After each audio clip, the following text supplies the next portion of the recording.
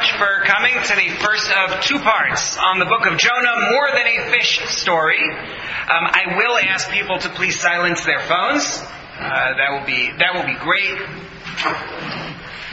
Um, those of you who have been here before know that I like to record audio from the sessions and then send out the link afterwards along with follow up on anything that we've learned uh, or questions that have come up in the uh, in the class. So if you're um, if you haven't registered yet, please make sure to do so. Please make sure that I have your email address. If you got the email that I sent out, I forget if it was Saturday night or Sunday with the source sheet, then that means you have registered. It means I have your email address. I see a whole lot of names on here. Um, people who paid today, and I think I know your email address is for most. But if you haven't been here before, it will be a good idea to please see me afterwards and make sure that I get your email address because I want to make sure to be able to both send you follow up from today as well as to send you the source sheet in advance of, uh, of next Wednesday's session. I also want to make sure to note our November December course. Uh, our topic for November December is life after death. That's always a fun one. Uh, that's a six week series life after death. So um, hopefully people will be able to uh, to make it. Um, I also want to make sure because I do see some people here who haven't been here before. So I'll mention first of all, I'm Mordechai Torczyner. Thank you very much for coming. Um, and I also want to thank Betty um, for volunteering to take care of all of the uh, the collection of fees and such before uh, before the, the class started. Um, Betty's a volunteer. Be kind. Okay. So, um, our topic indeed Jonah more than a fish story. And the truth is, we've covered the book of Jonah a couple of times. Um, we had a small group that did this way back, we talking about like 2000, I don't know, 12 or 13 as a January thing, where we, we talked about the book a little bit then. And then we had a series in September two years ago uh, called Prophets of Repentance. And in, in that series, we looked primarily at why Jonah ran away, as described in the first chapter and the fourth chapter of this four chapter book. What I want to do this time is to talk about chapter 2 and chapter 4. Chapter 2 being why God matters to human beings. It's the chapter that nobody covers in the book of Jonah for reasons that we'll discuss. But why God matters to human beings. And then for next week in chapter 4, why human beings matter to God. And the ultimate goal is to get a sense of this book and to get some inspiration as we head into Rosh Hashanah and Yom Kippur. Um, the flyers that are going around are flyers for um, weekly classes that I offer in Tanakh. I just I had some spares and figured, hey, they might be of interest to people, um, and uh, it will be great if uh, if it works out for people's schedule uh, and they're uh, and they're able to show up. That's uh, that's wonderful. One of them, the Shoftim class, the judges class, is male specific. The Shmuel Samuel class is female specific, and the Yeshaya Isaiah class is for everybody. So uh, hopefully something for, for everyone there. Okay. The book of Jonah. Someone to sum it up for us? Quick summary of the book of Jonah. Swallowed by whale.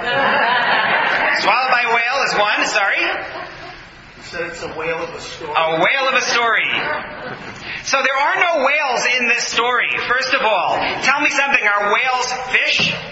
No. Whales are mammals. Thank you. Kindergarten rocks. Okay, yes. Whales are mammals. This is described, this creature is described, the creature that swallows Jonah is described as a dag or daga. Both are used in the book for reasons beyond the scope of what we're going to talk about right now. But a dag is a fish. It's got to be a really big fish. But nonetheless, it is a fish, it is not a whale. First myth busted. But let's talk about the story itself briefly, just to refresh our memories. Jonah is a prophet during the period of the First Temple Common Era. It is at a point when, no, First Temple Common Era, that sentence didn't make sense. Sorry, First Temple, middle of the First Temple, about the 8th century before the Common Era. That's where I was going. Um, this is a period when there are actually two Jewish kingdoms a northern kingdom and a southern kingdom. The, the two have split. The southern kingdom best known for Jerusalem, which is its capital. That's where the temple is. And then you have the northern kingdom. The northern kingdom had broken away after the time of King Solomon. They were largely idolatrous. They looked like basically your standard Middle Eastern uh, monarchy.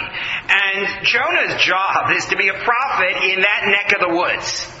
Jonah's job is to to um, to try to warn them of what they're doing wrong and to encourage them to repent.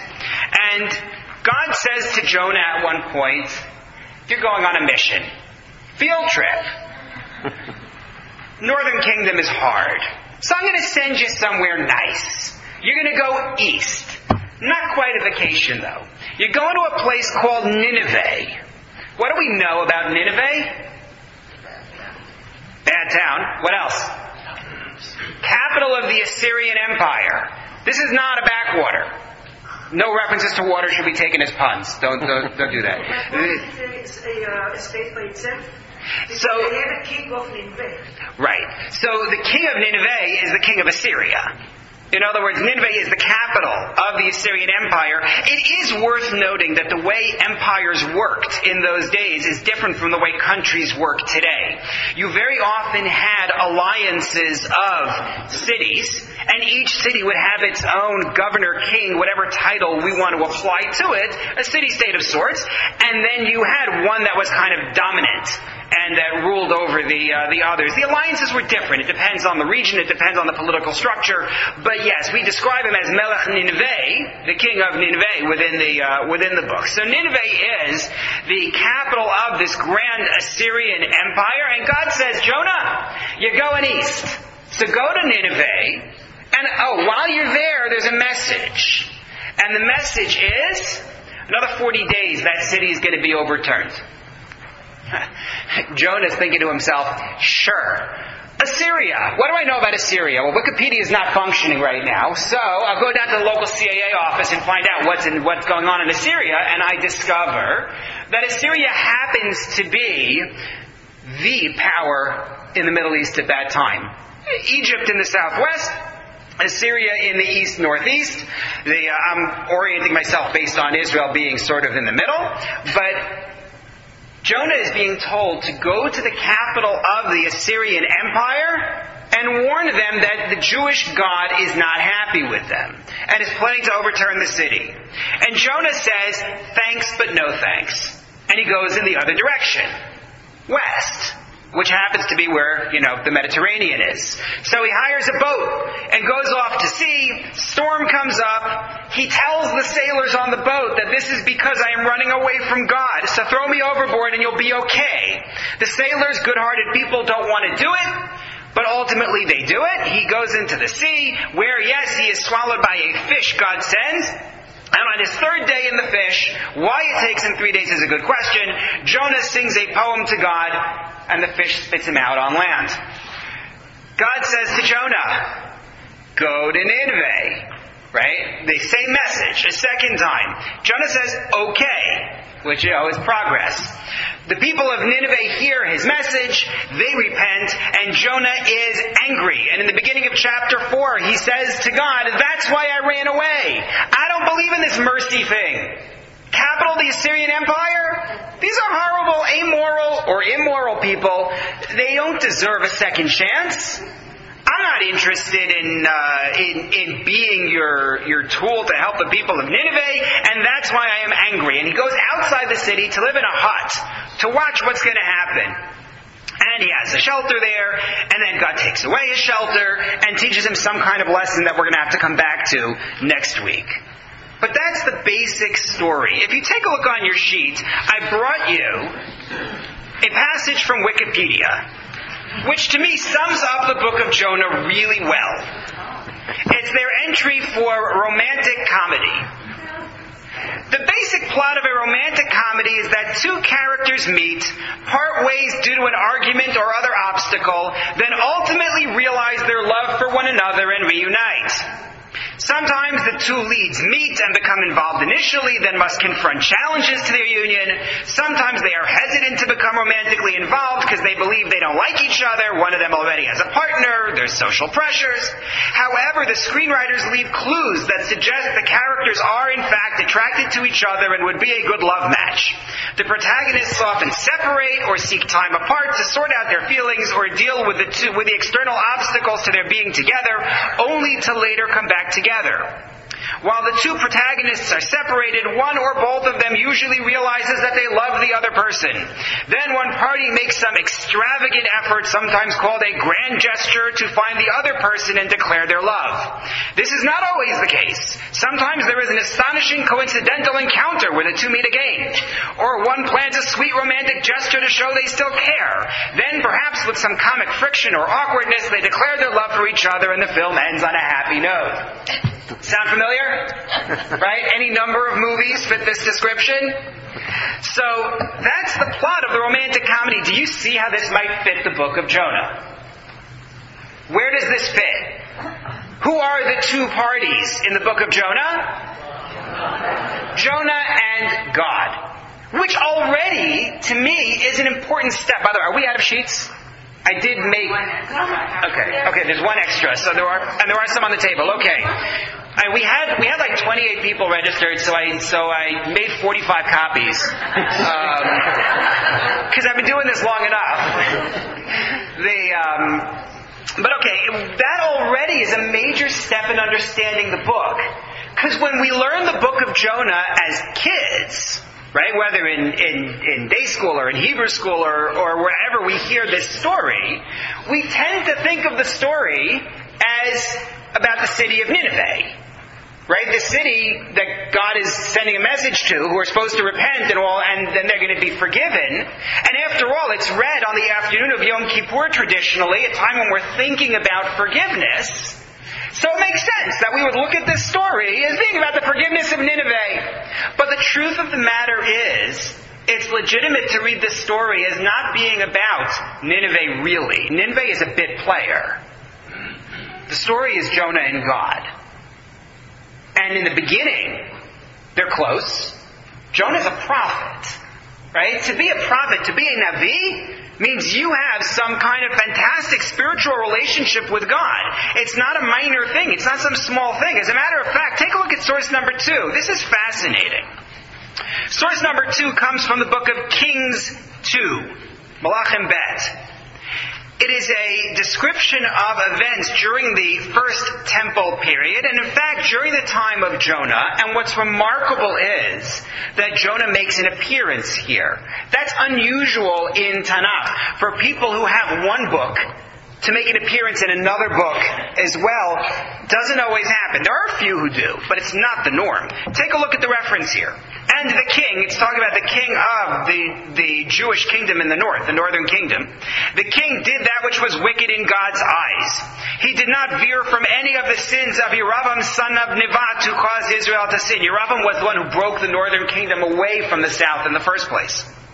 He restored the boundary of Israel. This was a king who conquered land. He was successful.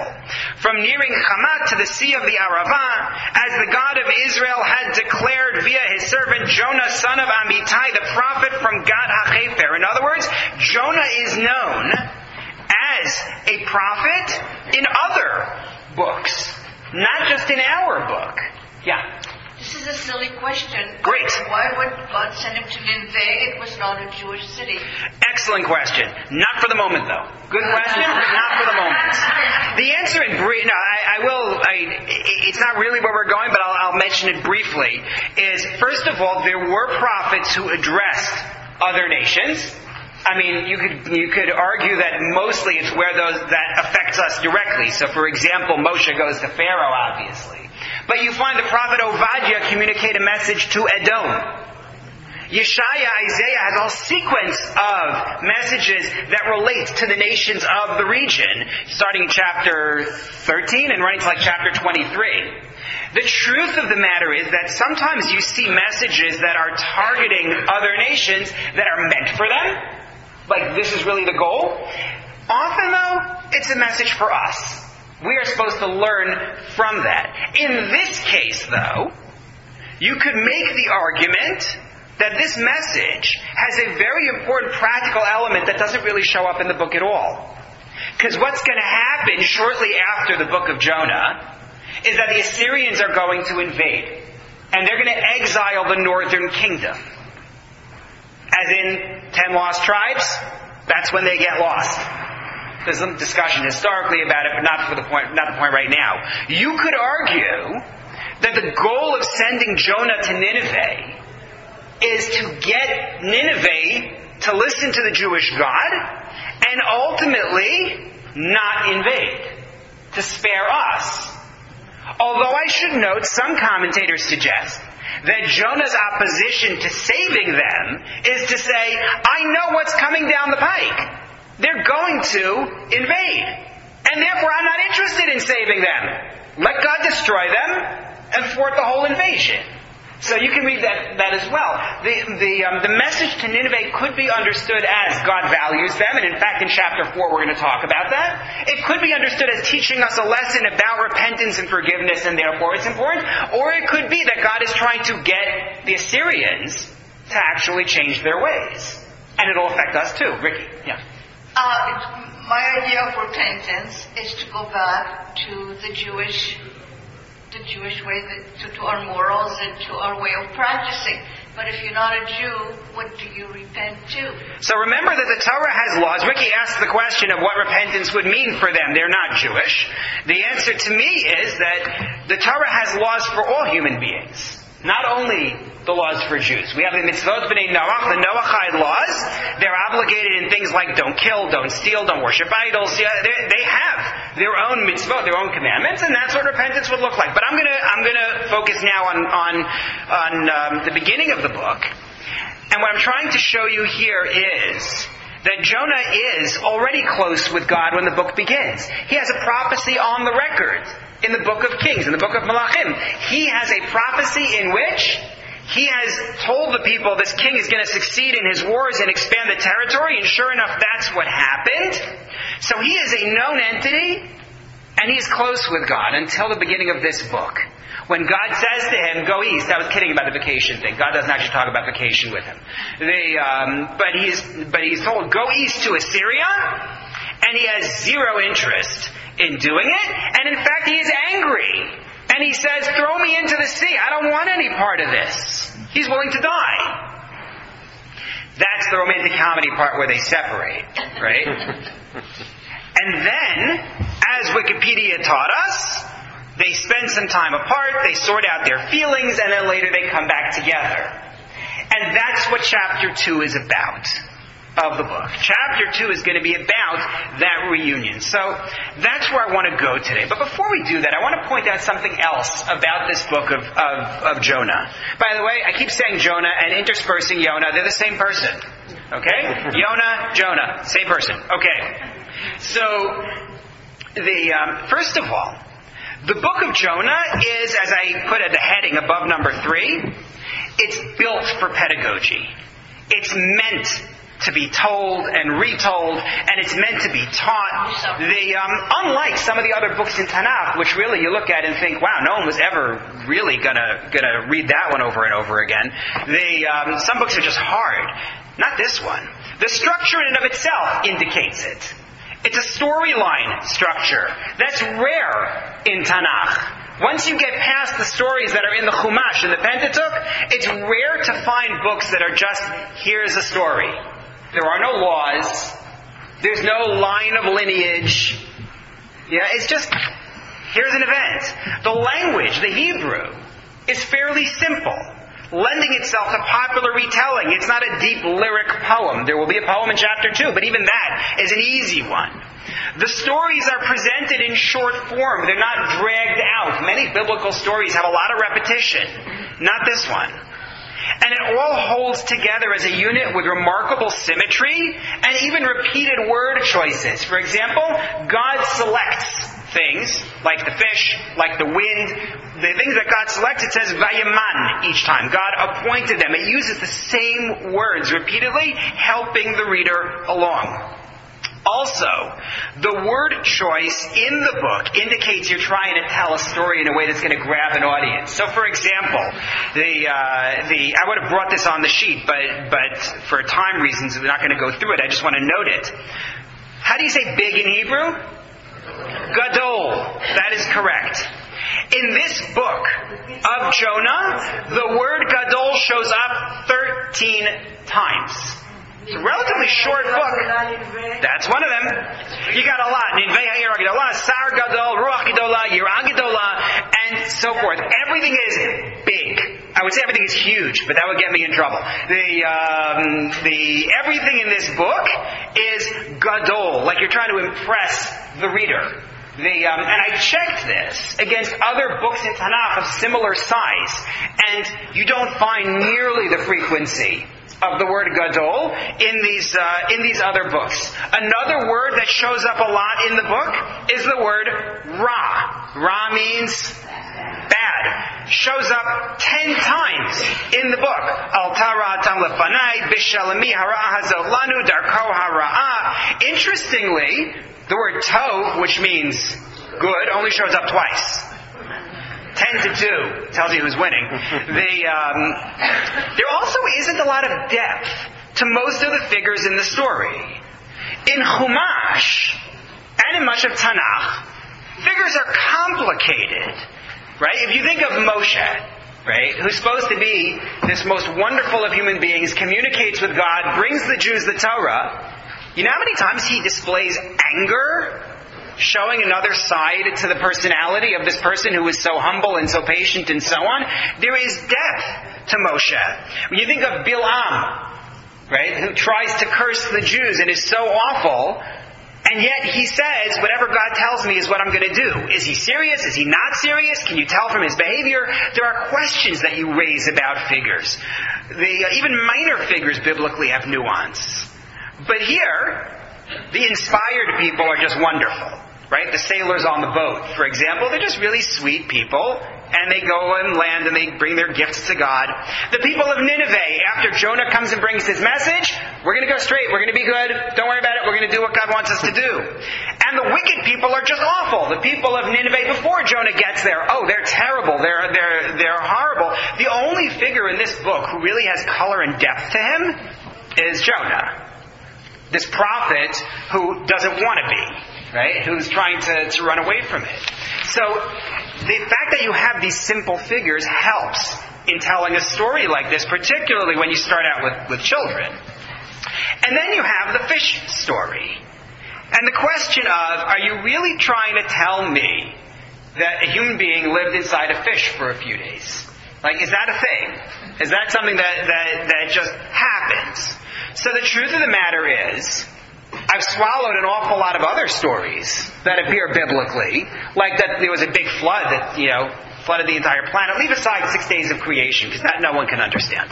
But, but the idea that, that, uh, you know, the sea split, right? Or moving into Tanakh, God stops the uh, the sun or stops the earth, but somehow or other the sun doesn't seems to be doesn't seem to be moving in the time of Joshua during their war, right? The um, if all of those things can happen, then you know, a person living inside a fish, well, why not? Um, it's not so hard. Nonetheless, Maimonides, if you take a look at source number three, said there are lots of things that happen in the Torah that are actually happening in prophetic dreams. Number three, in his Guide to the Perplexed. Just as a person envisions in a dream that he travels to a foreign land, marries a woman, lives there for a while, has a son he names Plony. Plony is like John Doe in, uh, in Aramaic. He has such and such involvements. So are these prophetic parables. Anytime the parable mentions an or a conversation of the prophet, it's all in the prophetic vision. When a prophet says, and God said to me, there's no need to clarify that this is going on in a dream. Doubtless this applies to Ezekiel's vision, Isaiah, Jeremiah, Hosea, and from what I have mentioned, you may take proof for that which I have not mentioned. It is all along one path in prophetic visions. He says, it doesn't have to be literal. And interestingly, there are elements of the book that lend themselves to saying it's a parable. For example, we said Nineveh is the capital of the Assyrian Empire. The word Nineveh can be read as a compound word. Nin, Neve. Nin is a fish. Nave is a home. Nin in modern Hebrew we use it and biblically also as a descendant, like a grandchild, great grandchild, but it's also a fish. What that says about your great grandchild, I don't know. The um, but Nave is a home. So Nineveh is home of the fish. And in fact, Akkadian, an ancient Semitic language, has as the symbol of Nineveh a fish in a house. Nin Neve. That's what it is. That's what the name means. So it's not so odd to have in this story, which is, you know, uses Nineveh, a fish that is a house, so to speak. He is going to be inside of the fish. Nonetheless, Classically, Jewish sages took the story as literal. So I brought you a passage from the Talmud in Ta'anit in source number five. It's giving you the liturgy for days when Jews fast for rain during a period of drought. And there are extra blessings in the Amidah. Are there still any extra sheets or they're gone? They're over there? Okay, so if anyone still needs, they're, they're, they're there on the table. Thank you the, if you take a look at number five, on the sixth extra blessing, the leader says, May the one who answered Jonah in the innards of the fish answer you and hear the sound of your cries on this day. Blessed is the God who answers in a time of trouble. Saying that, just like we are pleading to God, Jonah pleaded with God in the fish and God answered him. Well, if he was never in a fish, that kind of loses its power. I think that it was classically understood as yes, a whole bunch of other miracles happen, and this happens as well. Last point in this about the power of the story and the way it's used to try to teach us lessons is just a midrash in source number six. The just trying to figure out why I chose that one. I wanted something else, I think. Yeah, no, that's not the one that I wanted. Okay. It's a different midrash, also an important midrash, but it's not the one that I was looking for. The one that I was looking for is, that one we'll come back to later. But, um, but the one that I was looking for is a midrash which talks about how, how important the story is by saying that the fish was actually created in the very beginning of creation of the world. The fish is there from the beginning. Now, that doesn't mean that literally this is a really old fish. That's not the point. What it's trying to say is this story is fundamental to God's vision of the world. This story is basic. The power of repentance, which is such a dominant theme within the book, is fundamental to the world, much as the Talmud states that there are seven things that God creates before the world, seven concepts, if you will, that God creates before the world. One of them is the, uh, well, going in, in the order of the, uh, of the lesson, the, um, where, it, where it first appears, Torah is one of them. Tshuva is the, uh, is the second one. Torah meaning the rules we're supposed to follow, and then tshuva is the power of repentance when we don't succeed in doing what we are supposed to do. Gan Eden, the place of reward, and Gehinom, the place of punishment. Beit HaMikdash, the temple here on earth, Kisei HaKavod, and God's throne parallel up in the heavens. They're, in, they're all in pairs, obviously. And then the seventh one is Shmo Shel Mashiach, the name of the Messiah which is the idea of redemption, the idea that this world can be perfected. Those seven entities are before the world, again, not in the physical sense. The temple doesn't exist before the world exists, it has to be built at some point. But the, it's the concept of things that are fundamental to God's view of the world, and this story teaches lessons that are fundamental to God's view of the world, of what, what it is that we're trying to achieve, and that's why the story is put in as a simple story with language that people can grasp, with vivid images, with clear figures other than Jonah. They, um, it's all meant to help us to learn from it. Clear? Good so far? Okay. So let's get to the story and what we, what we want to learn. So again, I said I wanted to discuss why Jonah came back to God. So first we need to discuss a little bit about why he ran away in the first place. First of all, let's be clear. He's not running away from God. If you're a prophet, you know what they teach in many kindergartens. Hashem is here. Hashem is there. Hashem is truly everywhere. up, up, down, down, right, left, and all around. Right? That's the way the song goes. The, um, the, the reality is that God is supposed to be everywhere, and therefore running away is kind of fruitless. But it's not what he's trying to do. That's not what the text says. It doesn't say that he runs away from God. It says he ran away milifnei Hashem. Someone translate milifnei Hashem. From in front of God. Very good. From in front of God. What's the difference between running away from God and running away from in front of God? What does that mean? Not in his face, yeah? Well, he's running away from in front of God, so he won't be responsible. More than that.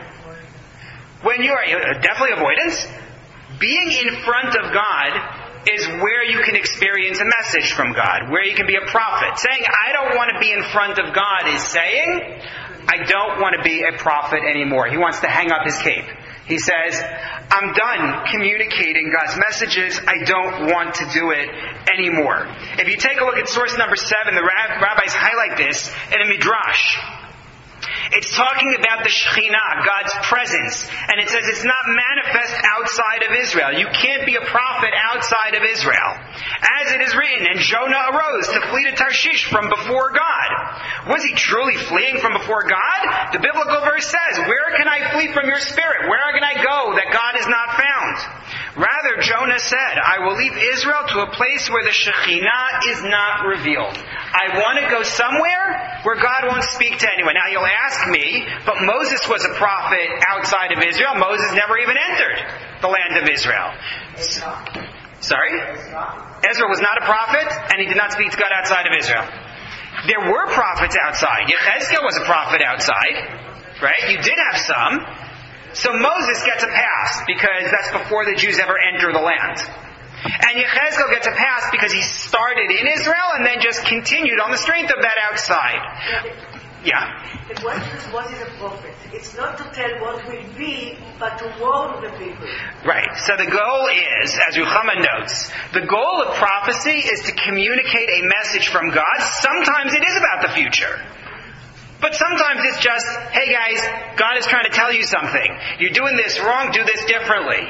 Sometimes it's future driven and sometimes it's not, but it's always communicating a message from God, and that's what Jonah wants to stop doing. Why doesn't he want to do it? So there are a few different explanations. One approach is he wants to save the Jews from destruction. I mentioned already the possibility that he is afraid that the that conveying his message is going to lead the Assyrians to be saved from destruction, and then they're going to come invade. But another approach is to say that Jonah is upset because he knows that Nineveh is going to listen.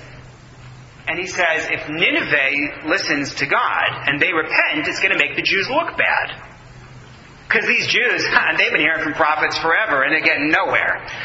so Jonah says, it makes the Jews look bad if I convey this message. And so he says, I am not interested in conveying it and I am even willing to give up my life in order to save the Jews. What other prophet did that? Was willing to surrender his life in order to save the Jews? There is someone. Yeah, Moses. When, Linda? After the golden calf. after the golden calf. That's correct. After the golden calf. He says, if you're, if you're going to wipe them out, you have to wipe me out too. Right? That's his message to God. He says, wipe me out of your book that you wrote. Take a look at source number eight. Midrash. Rabbi Natan said, Jonah went only to destroy himself in the sea. This was a suicide mission. He didn't expect to survive. As it is written, he said to them, Pick me up, throw me into the sea. That's what he said to the sailors. And so you will find with the ancestors and prophets who gave their lives for Israel. Regarding Moses, it says, Now if you will forgive their sin, good. And if not, erase me from your book which you have written. Regarding David, it says, I have sinned, I have been corrupt. What have these sheep done? May your hand be against me and against the house of my father. David asks God to punish him and not the nation. Everywhere, the ancestors and prophets gave their lives for Israel, and that's what Jonah wants to do as well. That's, that's, that's one take. Is that it's to save the Jews, whether to save them from the Assyrians directly, or whether it's to save them from divine wrath when the Assyrians outdo the Jews. But the other school of thought, which is really very clear in chapter 4 of the book, says that's not what it's about. It's what I mentioned in the beginning, which is Jonah doesn't like the whole concept of forgiveness. Take a look at source number 9, please. This is from the beginning of chapter 4. After God has forgiven Nineveh. And this was very bad to Jonah, and it angered him. And he prayed to God and said, Please, God, has this not been my word since I was on land? This is why I fled to Tarshish first. For I knew that you are gracious and merciful, patient and very generous, and you repent of causing harm. He says, God, I am angry that you are gracious and merciful, you do all these nice things. I don't want that. Makes a lot of sense for a prophet. Because attaining prophecy is not simple and straightforward. A prophet, as Maimonides records it, is required to develop both intellectually, in terms of comprehension of God's message and comprehension of the world, and in terms of personality. The prophet is supposed to develop refined attributes. The way he relates to other people. The type of character the prophet has. You reach that level, right? What was Jonah's father's name? He's listed as Yonah ben Amitai. The word Amitai is Emet, right? Jonah is associated with Emet, which means truth, right? Jonah is literally the son of truth. To Jonah, it's got to be this way. And if you're not going to do it this way, then too bad for you. Whatever happens, happens. Jonah is angry that God is not going to punish them for their wrongdoing. He can't accept that. And he says, I don't want to live in a world like that. And he runs away. And he'll say it again in chapter 4. He'll say to God, Tov moti mechayai, better dead than alive. Yes? Uh, yeah, I'm just uh, wondering if the, the whole book of Jonah is, because as you said, God is everywhere, he sees everything, he also knows everything, right? Right. So in other words, he knows that when he gets uh, Noah to do this project, uh, Jonah rather, to do this project, there will be, I mean, there will be a rese- um, um, Friction? Friction, exactly. Thank you. Yeah. So I'm wondering, and it comes to mind the book of uh, Echa, that maybe it's for Jonah to do what you just said, like a fight with, he has fights within himself, within his conscience, with his, in his thoughts about the future, and maybe that's why what God wants him to do. And the whole story of Nineveh is like a vehicle Right. for him to go through this. Yes, I think that in many ways, I agree with Nurit. The, um, I think in many ways, what Jonah is experiencing is what the reader is, mo- is meant to observe. This is the figure working out his internal conflict. Absolutely. So, that's why he runs away. Right? Going with a very simple and straightforward read, the text says it in chapter 4. The, um, Jonah is, is, is angry, and he says, I'm not, uh, I'm, I'm not on board with this idea, and he's willing to end his life for the sake of that. And that brings us finally to chapter 2. Okay, we've gone a long way in order to get here. We've noted the history a little bit of when this takes place. We've talked about the romantic comedy structure where they're together, then they are apart, and then something is going to bring them back together. We've talked about what took them apart, what separated them. It is Jonah's desire to save the Jews, perhaps, but on a literal level from chapter 4, it's Jonah being angry about God's attributes. He doesn't like this concept of mercy and forgiveness. And then in chapter 2, he changes his mind. But the difficult part of the book is that he never explains why he changed his mind. And that's what I want to what I want to talk about for the next 20 minutes. Take a look at source number 10, please. This is chapter 2, my translation. And it is, after the first couple of lines, it is a poem. God assigned a great fish to swallow Jonah. Jonah was in the innards of the fish for three days and three nights. And Jonah prayed to Hashem, his God, from within the innards of the fish. And he said, I called to God in my trouble, and He answered me. From the belly of the depths I cried out, and you heard my voice. And you cast me into the depths, the heart of the seas, and the rivers surrounded me. All of your breakers and waves passed over me. And I said, I have been exiled from before your eyes. Still I would look toward your holy sanctuary.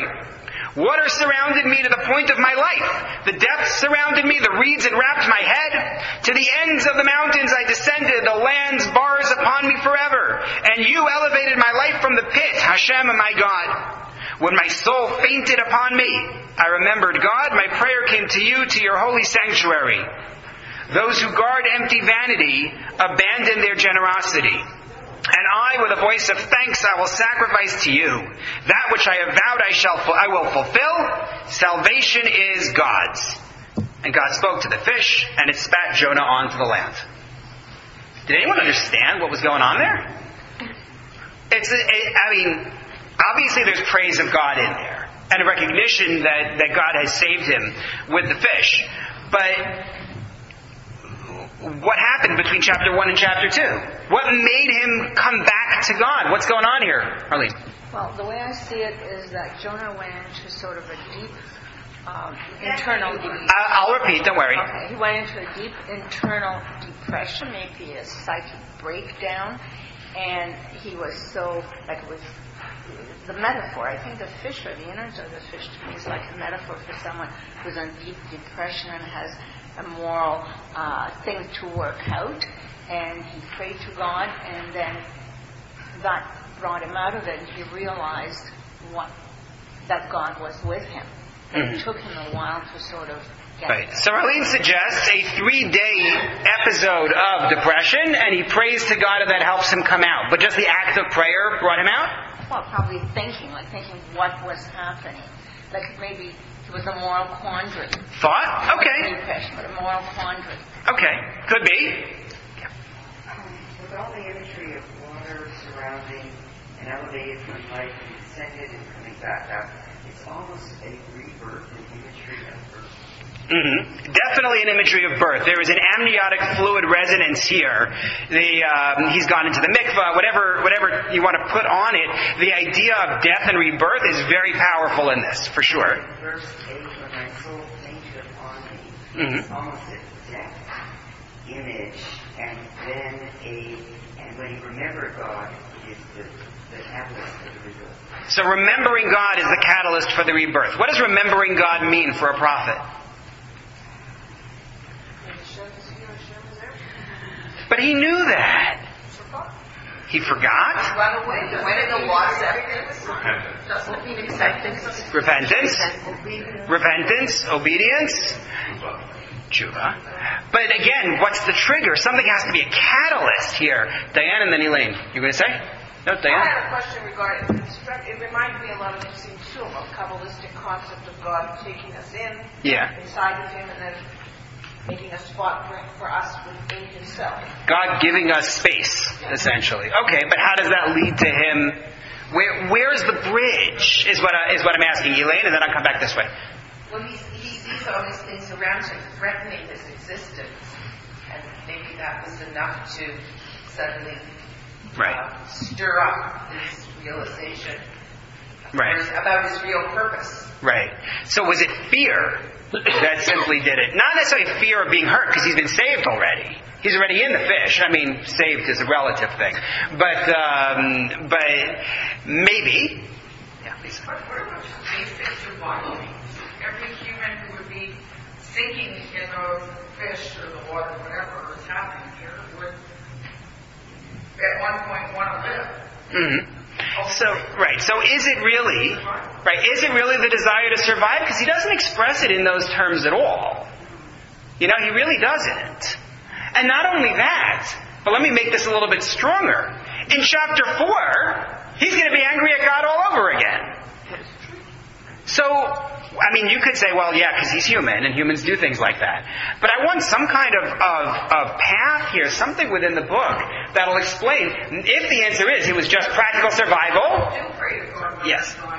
People want right, uh, a spiritual uh, assistance. Right. when They take their job. Right. If it's just a response to fear, then I can understand. When I'm in danger, I cry out to God. Danger is gone. Thanks, God. I took care of it. Right? You know the parking spot story. The fellow, right? The uh, can't find it. He's going to miss his job interview and so on. And he prays to God, please, please, please, just give me a uh, parking spot and I will do anything. I will give this or whatever it is. And then the car pulls out. He's got a parking spot, and he says, "Oh, never mind, God. I got it."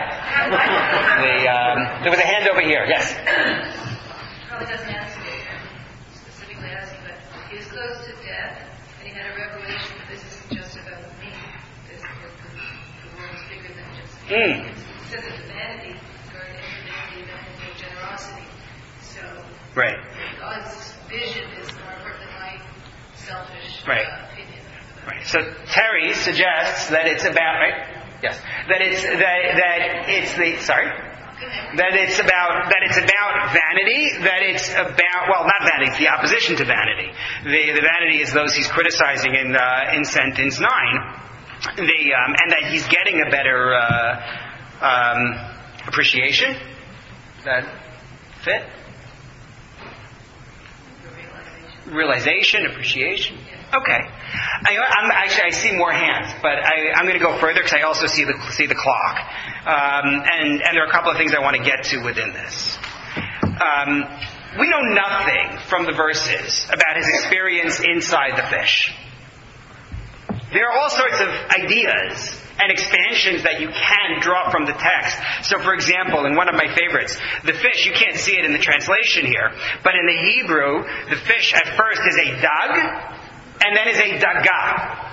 What's the difference between dag and daga? So one might think male and female. The truth of the matter is that if you look back in Exodus in the beginning about the fish in the or in the Nile, it, they're also called daga. It's not really gender specific. It's fish are called daga. Nonetheless, the commentators suggest that Jonah's in there for three days. In the beginning, he's in a male fish. And he's not crying out to God yet. And God says, you know what? Let's have the male fish spit him out and have him go into a female fish, which is carrying all that roe, all the eggs, and therefore there's less room for him. And then at that point he'll cry out. So he goes from being in a dug to being in a daga, and at that point he says, "There's no room in here." The um, maybe the um, but in any case, in any case, I mean, it's it's trying to solve a problem. That that idea is trying to solve a problem. It's solving two problems: a textual problem of why does it say dag and then daga, and a story problem of why did it take him three days. So that's the um, that's where that idea comes from. But within within the verse itself, I think we can draw certain ideas. From Jonah's words and circumstances, from what he says in chapter 2, it seems like effectively he becomes a non-prophet, not non-prophet, non-navi. He has succeeded. He, he succeeded. He ran away from God. Not in the sense of leaving God behind, but in the sense of no longer receiving messages. And they, because he experiences what it's like to be like the rest of us, to have no connection like that, he says, I missed it. I succeeded and I'm not happy. He's the kid who runs away, right? And then realizes, wait a minute, I liked it at home. That's what we're talking about here. The, um, I'm going to go further with this. I'm sorry. Notice something fascinating in sentence two. Go back to source number ten.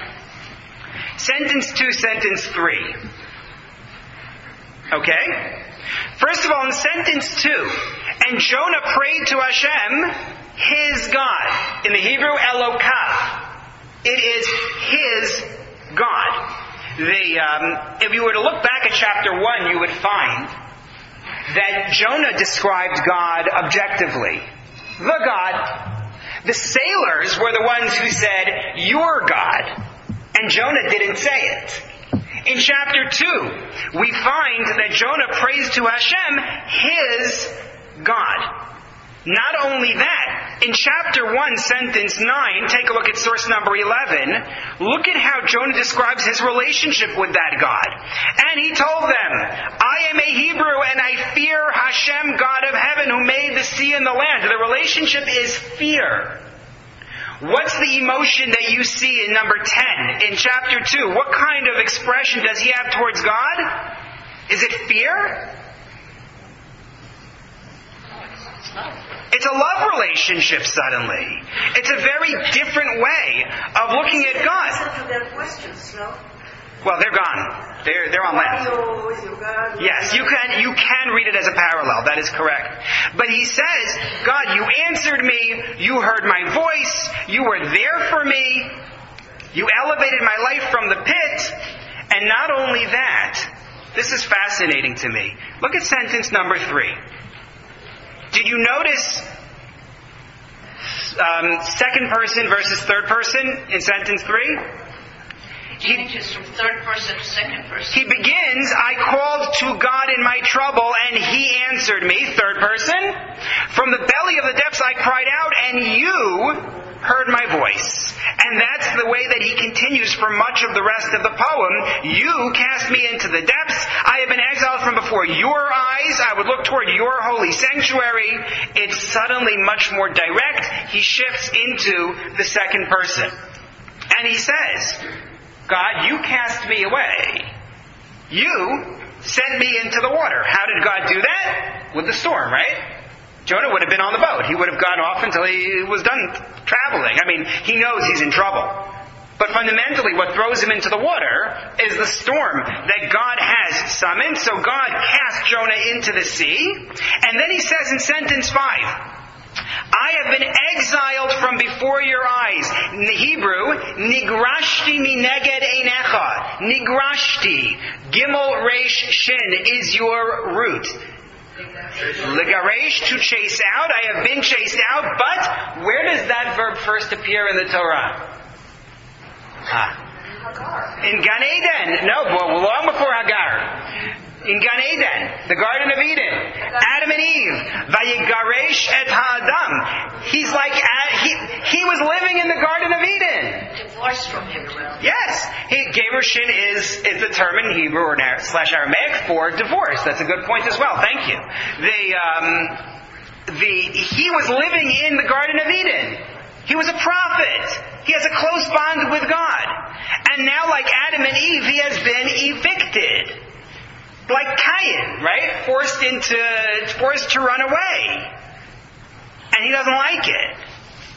Cain uses the same word, Gerashto tihayom. You have chased me away today. And he wants a reunion. And so he refers to coming back to God, and specifically where? Look back at sentence 5. I've been exiled from your eyes, still I would look toward your holy sanctuary, towards the Beit HaMikdash. Right? The, uh, he wants to go back to the temple to be with God. And he says, I was going to drown in the sea. And now I'll come back to that point about death and the death experience. If you had the Hebrew, which I didn't give you here on the sheet. But look at sentence 3. From the belly of the depths I cried out. The word there is Beten Sheol. Sheol is a classic term for the grave. And then in sentence 4, you cast me into the depths is Mitzulah. Another term that's often used specifically for drowning, but also death. The, also death, I should say. The, um, and then in sentence 6, water surrounded me, the depths surrounded me, tehom, which is another term that's often associated with the grave. He felt like he was exiled. He had succeeded in distancing himself from God. And he doesn't like it. He's upset. He feels like he's suffering. But he says, at the same time, you saved me. Despite all of this. In sentence 7, I descended to the bottom and then you saved my life. I was dying in sentence 8. Right? When my soul fainted upon me, he says I was, I was expiring. I remembered God, and my prayer came to you, your holy sanctuary. You listened to me. That's the, the idea, and it leads him to make a commitment for the future. And he says, Those who guard empty vanity, meaning those who worship idols, abandon their generosity. They make commitments and they don't fulfill them. They say they're going to be good, and they don't follow through.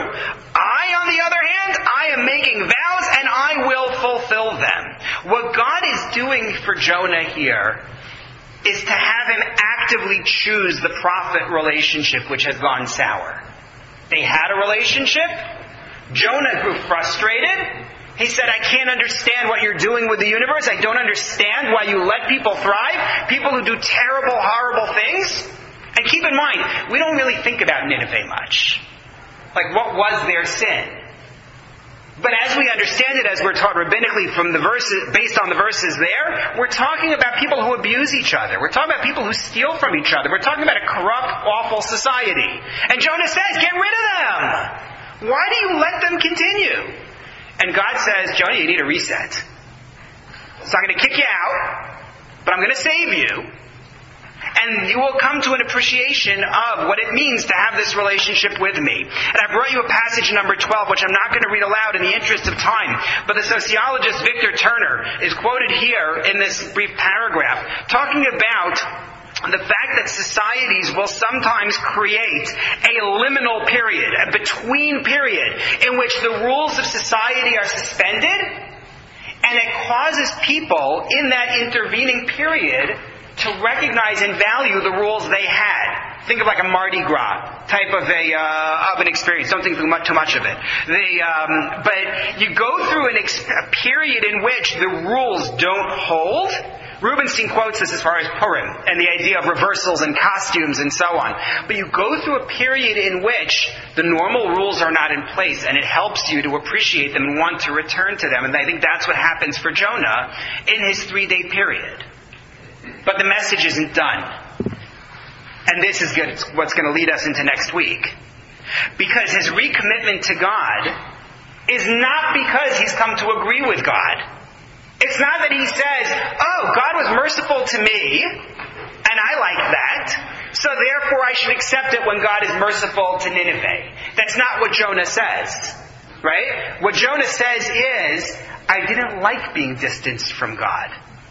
I didn't like losing that relationship. I value having God close to me, so I'm going to come back. But he still doesn't like the mission.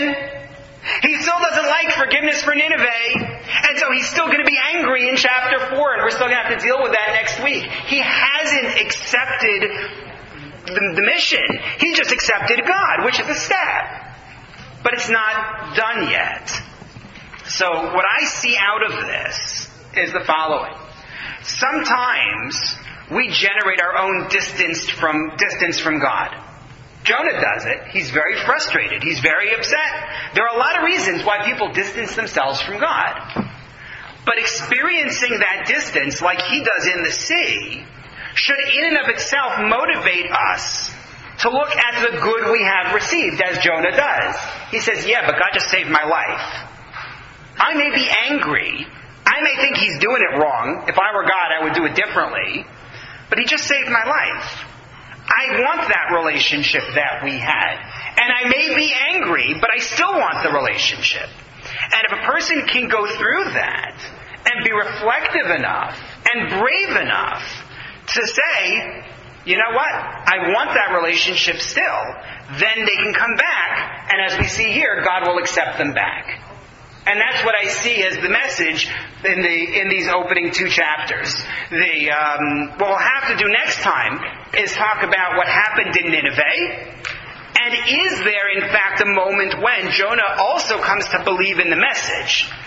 Or is the story, in fact, going to end not like the Wikipedia romantic comedy, in which everybody happily ever after, or in fact, is that not going to work out? So we'll have to see that, God willing, um, next week. Thank you again for coming. If, in the event that you did not, if you did not receive the email,